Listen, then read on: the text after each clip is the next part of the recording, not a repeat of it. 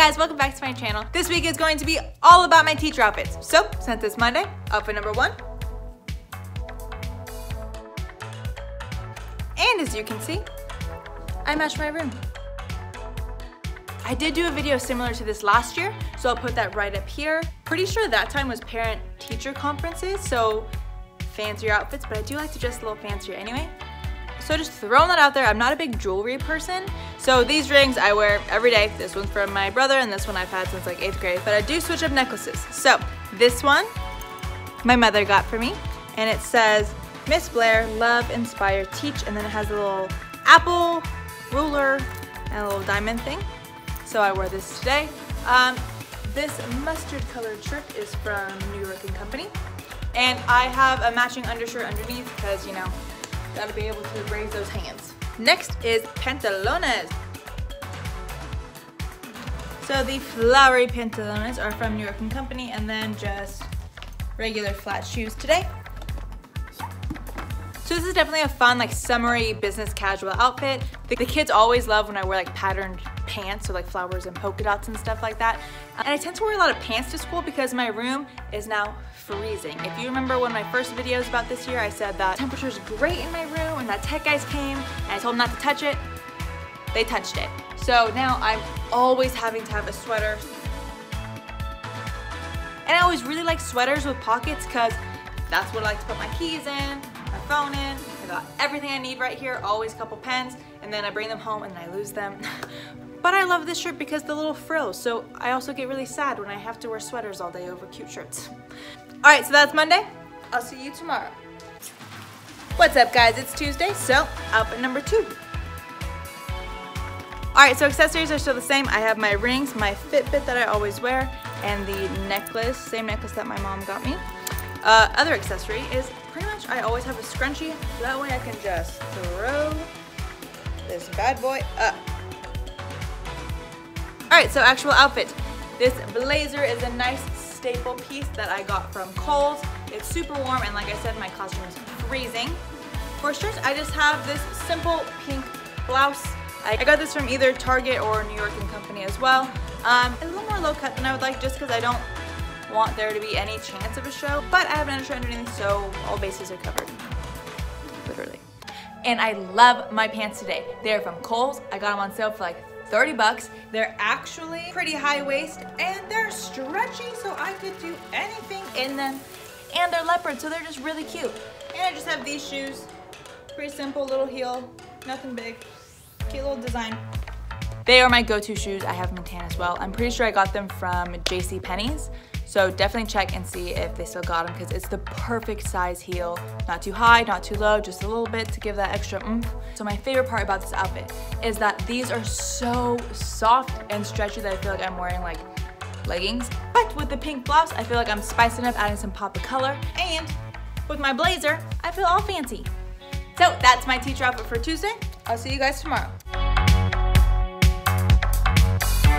It's Wednesday, so that means today was a minimum day also means outfit number three. So I'm rocking the blazer again today, but underneath my blazer, one of my favorite dresses. I got this at New York & Company last year, I believe, maybe over summer, and goes with about anything. You could pair this with like a bright, colorful cardigan. You could wear a long sweater with it. It's so comfy, so easy to throw on. It doesn't wrinkle easily. That's probably the main reason why I like it. I also like this tie because it looks really cute from the front to give it a little extra something, but you can also turn it around. And now it looks normal and you have your cute little tie in the back. My main favorite thing about this dress is the length. I don't have to worry about bending over or anything. It's like that perfect calf length. I have the same shoes as yesterday, so no big deal there. I think that length is a very flattering, classy length. Either way, I have shorts underneath. Jewelry today. I have a different necklace on today. It's just like a little jewel thingamajig my brother got for me. I don't know where, probably Charming Charlie's, um, which is also where I got my scrunchie. But now they're closed, so it doesn't matter. So that is Wednesday's outfit. Tomorrow's Thursday, and I'm actually not going to be in my classroom. I'm going to be going around observing all the other third grade teachers within my district. Oh, I'm super excited about that. Fun fact, had nothing to do with my outfit, but I'll still show you tomorrow. All right, so we got Monday, Tuesday, Wednesday. Two more days to go. It's Thursday, almost Friday, so outfit number four. So I pretty much turned yesterday's dress into pants. But they're so cool because like no button, no zip, just pull them up, good to go. But I like the little crop leg and they're super comfy. So easy, slip them on and go. Then I got this shirt from New York and Company as well. I'm pretty sure in another video I have a light pink one just like it.